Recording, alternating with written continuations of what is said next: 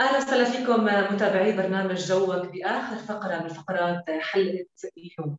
يعني أكيد رمضان قرب وصرت المسلمين و يعني اللهم بلغنا رمضان لا فاقدين ولا مفقودين وأكيد كل الأسر حول العالم الأسر الإسلامية بتحاول هيك تعمل زينة لرمضان تعمل اجواء بشهر رمضان المبارك. ولكن الأحلى من هيك إنه نشارك أطفالنا نخلي أطفالنا يشاركونا بتزيين البيت. معنا مباشرة عبر زوم خبيرة أنشطة الأطفال إيمان البطال تحكي لنا أكثر كيف إحنا ممكن نخلي أطفالنا يشاركونا بتزيين بيوتنا بشهر رمضان المبارك. شو في عنا أكثر. صباح الخير إيمان. يسعد صباحك سالي كيفك؟ تمام الحمد لله. أنت كيفك منورة؟ الحمد لله حبيبتي تسلمي نور نورك. آه هلا شوفي أهمية زينة رمضان لعند الأطفال آه كثير مهمة لحتى نهيئهم لدخول شهر رمضان المبارك. آه ممكن نبلش من خلال الأيام الأخيرة لشهر شعبان لحتى نعد لهم قد إيه باقي أيام لشهر رمضان. بهذا الأسلوب هو بيقدر يدخل البهجة والسرور لقدوم شهر رمضان المبارك. بنفس الوقت هو زينة رمضان هي نفسها تخلق الإبداع والابتكار عند الطفل. ممكن بصير في عنا أنه بيقضوا وقت أكثر مع أفراد العيلة بتشاركوا ممكن باختيار زينة من السوق غير الزينة اللي هن بيعملوها في البيت. فهاي كثير مهمة الأهل يركزوا عليها مع أطفالهم.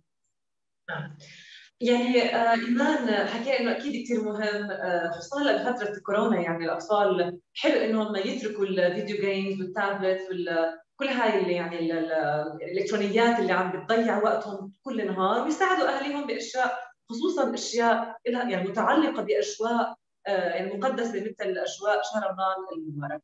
شو محضرتي لنا اليوم؟ نشاطات للاطفال لشهر رمضان محضرتكم هلا شوفي أهم شيء أو هي المعالم اللي دائما مدلولة لشهر رمضان المبارك هو الهلال والنجمة. عندك الهلال والنجمة والفوانيس. فممكن نحن نقدر نعمل حبل من الهلال والنجمة بيكون معمول من الورق الملون أو ورق هن يلونوه أو حتى كرتون. يزين فيه على سقف غرفة الطفل أو حتى على غرفة الألعاب مثلا. نفس الشيء ممكن نحن نعمل الفوانيس من الكرتون ونحط الشمعة اللي هي باستعمال البطارية عشان طبعا أمانهم. ينحط على الديسك عندهم. آه هذا كله آه بخلق كمان نوع من الإبداع والابتكار عندهم لحتى يحسوا إنه نحن آه بشهر رمضان. أنا كثير بحب نشاط اللي هو زينة الباب. ممكن يستعملوا اللي هي الخشب المدورة تبع التطريز أو حتى القصب. يعني نحن أفرجيك نحن شو عاملين للباب. نحن جبنا تبع القصب أخذناها وجبنا ورد مجفف. عملنا إيش الألوان اللي بدنا إياها وجبنا هاي الكلمة على شكل رمضان كريم تتعلق على الباب. ونفس الفكرة ممكن كمان نعملها على غرفة النوم للطفل بألوان هو اللي بيحبها وابتكاره. حتى ممكن نستعمل الورق الكرتون أو الصحون الكرتون ال disposable حتى يقدروا يزينوا عليها ويعملوا فيها زي شكل الهلال والنجمة.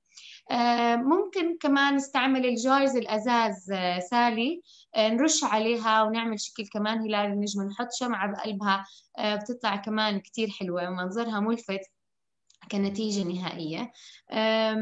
رزنامة رمضان أنا كل سنة بركز عليها ودائما نعمل أفكار كتير سهلة بمواد موجودة في كل بيت. باستعمال كراتين باستعمال disposable كابس بنزينها بالكورنيش وبندهنها ألوان. وبصفي إنه الطفل اللي هو جاي على شهر رمضان على أتم استعداد ليخوض تجربة الصوم في شهر رمضان بقدر ياخذ هدية واحدة كل يوم. هيك لنهاية شهر رمضان بتكون مفاجأة الام أكيد عارفة شو هو اهتمام الطفل وشيء بيلفت نظره أكيد. قديش بتشوفي إنه الطفل خلال تجهيزات شهر رمضان المبارك بيكون عنده حماس؟ بيكون في عنده حماس ولا بيكون مش حابب إنه يعمل زينة مش حابب يعمل شيء بإيده يعني أنشطة مثلا متعلقة بشهر رمضان؟ بتحس إنه بشهر رمضان بيكون حماسه أكثر من أي أنشطة ثانية خلال السنة ممكن شوفي هو بيعتمد على جو البيت سالي. إذا كان الأهل عاملين عن جد جو لشهر رمضان زي ما قلنا العد التنازلي ممكن نحط أغاني متعلقة بشهر رمضان ممكن نحكي بنشاط معين عن خلق من الأخلاق الحميدة نحكيها للطفل ونفصلها له آه هذا كله بيخلق روح جميلة في البيت. لشهر رمضان. أما إذا كان الوضع شوي إنه لا عندنا روتيني كل يوم آه، أو إنه عن جد نحن بنحكي إنه يصير النهار طويل هذا ممكن كمان يأثر عليه إنه لازم يشوف البهجة والسرور على وجه أهله يعني طبعا أكيد. الولد بس بده نوع من أنواع لفت النظر سالي شو ممكن نحن نعمل لحتى نخلق هذا البهجة في البيت بأبسط أبسط الأشياء؟ والحلو زي ما انت حكيتي كمان سالي إنه ما بتقتصر الموضوع على زينة رمضان. نحن لازم نخلق نشاطات.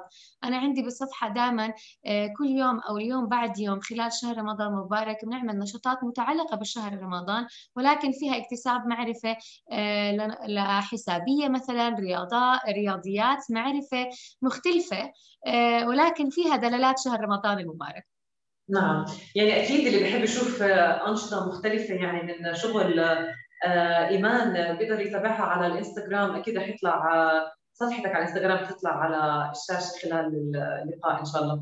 إيمان نصيحة للأمهات في شهر رمضان المبارك. النصيحة هلا ضايل الأيام قليلة لشهر رمضان. آه، أهم إشي إنه نذكرهم يوم بعد يوم قد إيه ضايل لقدوم شهر رمضان كريم. ممكن نعمل بطاقات معايدة بقدوم الشهر للمقربين منا من الست الجد ممكن أولاد العم وأولاد الخال أو الخالة.